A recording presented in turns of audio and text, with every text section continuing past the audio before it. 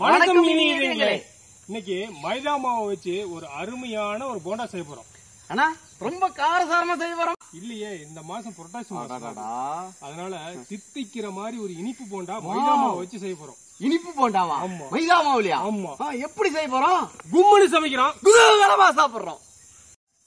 இனி இதுங்களே ரெண்டு கிலோ மைதா மாவு எடுத்துருக்கிறோம். அதுக்கு ஒன்றரை கிலோ சர்க்கரை அளவு எடுத்துருக்கிறோம். அதே மாதிரி ரவை வந்து ஒரு அரை கிலோ. பழம் வந்து ஒரு எட்டு பழம் எடுத்துக்கலாம். ரெண்டு தேங்காய். இதை வச்சு இன்னைக்கு வந்து சூப்பரான ஒரு இனிப்பு மைதா போண்டா சூப்பராக செய்ய போகிறோம் வாங்க. வீடியோவில் தொடர்ந்து பார்த்துக்கிட்டே வாங்க. மைதா போண்டாவுக்கு ரவையை ஒரு இருபது நிமிஷம் ஊற வச்சு எடுத்துக்கலாம். இப்போ நம்ம ஊற வச்சுக்க போகிறோம் தேங்காய் முழுசா இருக்குது. இந்த மட்டையெல்லாம் பேத்து எடுத்துட்டு அதை உடைச்சு துருவி எடுத்துட்டு வந்துடலாம்.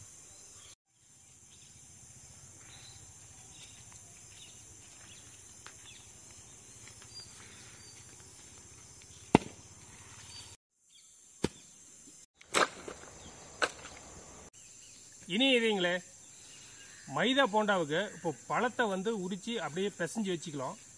முதல்ல அதை செய்வோம்.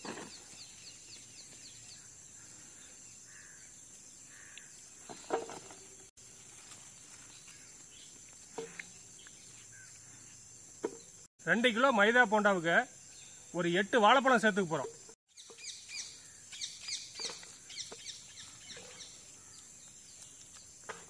இந்த பழத்தை நல்லா அப்படியே கொஞ்சம் நைஸாக பிசைஞ்சு எடுத்துக்கலாம். ஒரு இருபது நிமிஷமா ரவை நல்லா ஊறி வந்திருக்குது. இப்போ என்ன பண்ணுறோன்னா அதையும் சேர்த்து நல்லா பிசைஞ்சு எடுத்துக்கிறோம். பார்த்தீங்கன்னா பாரு அருமையாக ஊறி வந்துருச்சு. இந்த பதத்தில் தான் ஊறணும் ரவை.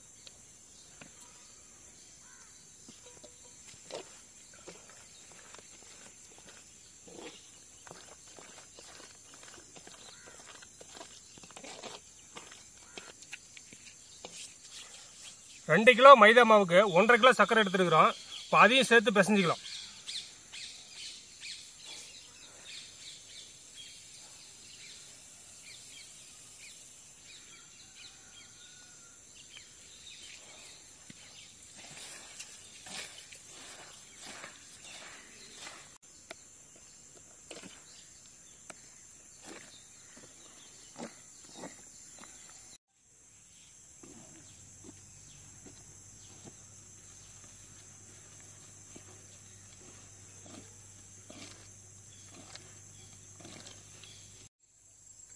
ஒரு பத்து ஏலக்காயை உரல்ல நுணுக்கிருக்கிறோம் அதை அப்படியே கொட்டிக்கலாம்.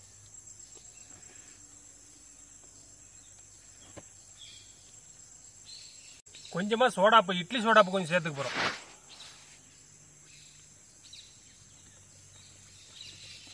பாத்திரம் ஒரு பெரிய பாத்திரத்துல மாத்திக்கலாம். இன்னும் மைதா மாவை போட்டு பிசைஞ்சோம்னா இது வந்து பத்தாது.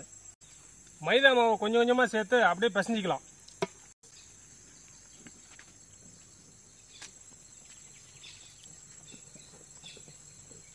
தண்ணி கொஞ்சம் அப்படியே பதமா சேர்த்துக்கலாம்.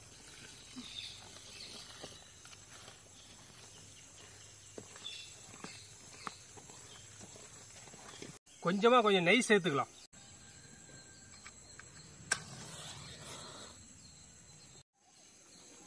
சட்டியை வச்சு எண்ணெய்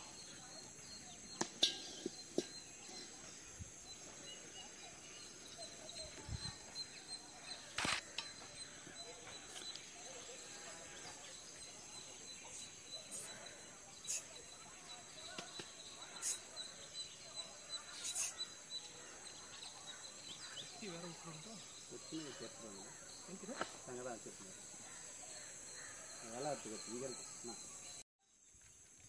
எண்ணெய் ஊத்தியாச்சு. அடுப்புல பாலையும் சரியாச்சு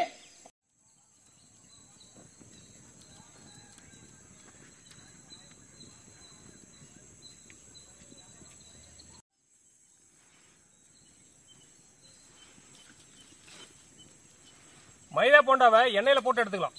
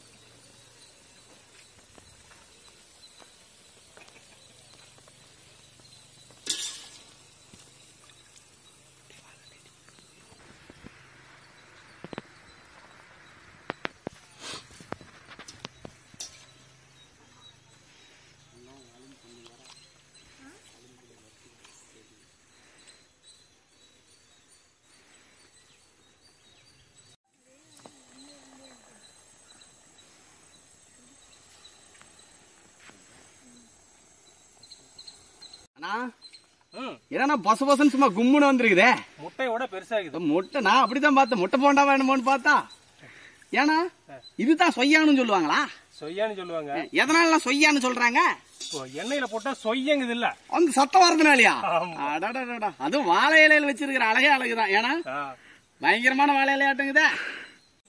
ஏன்னா என்ன போண்டானா இது? எனக்கு ஒண்ணுமே புரிய மாட்டேங்குது.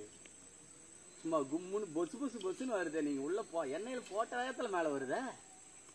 அதான் மைதா போண்டா. மைதா போண்டானா இப்படிதான். அப்படியே கையை விட்டு எடுத்து கடிச்சு பிள்ளான்னு இருக்குது எனக்கு. இங்க வேற கொட்டி வச்சிருக்கிறோம். என்ன கடி கடின்னு பிடிச்சி இழுக்குது அது. ரெண்டு எடுத்து கடிச்சிக்கிட்டுமாண்ணா? கடிச்சு பாரு. கடிச்சு பாருடா. மொறு மொறுக்குதுண்ணா அருமையா இருக்குது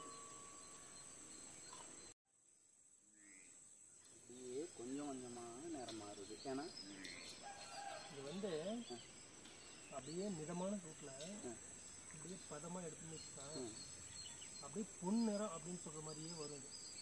தங்க நேரமா தங்க நிறமா இருக்கும். அது அப்படியே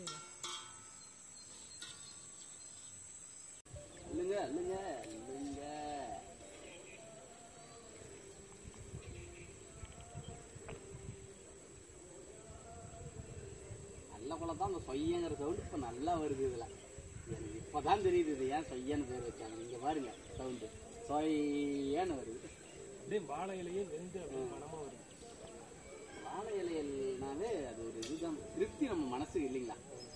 இந்த வாசம்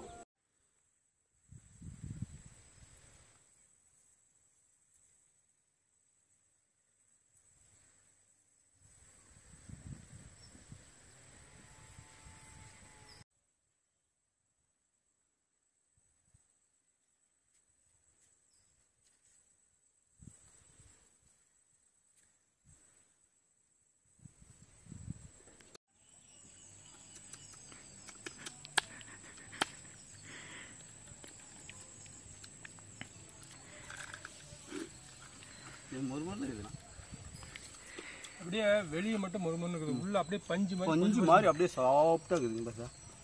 வாவ் அருமை அருமை. ம். அற்புதமா வந்திருக்குது. மைதா போண்டா. இப்படி வரும்னு நாங்க எதிர்பார்க்கவே இல்லை. அவ்வளவு அற்புதமா வந்திருக்குது. இருக்குது. அந்த நெய் ஏலக்காய் எல்லாம் அவ்வளவு வாசனை அப்படியே தூக்கி கொடுக்குது. செம்மையா இருக்குது. சாப்பிட்டுட்டே இருக்கலாம்.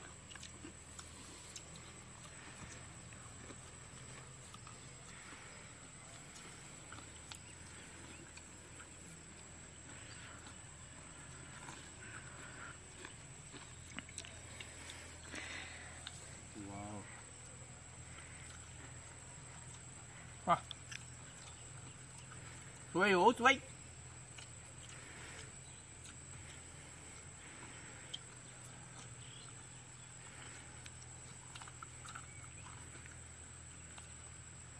இந்த வீடியோ உங்களுக்கு பிடிச்சிருந்தா லைக் போட்டு விட்ருங்க அப்படியே கமெண்ட்ஸும் மட்டும் விட்டுருங்களேன் ஓகே